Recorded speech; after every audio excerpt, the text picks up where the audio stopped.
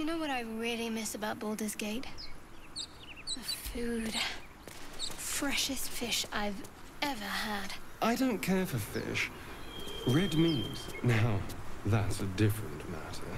Rare as can be. Dripping. Well, unless we find a cure, you won't have any teeth to chew it with soon enough.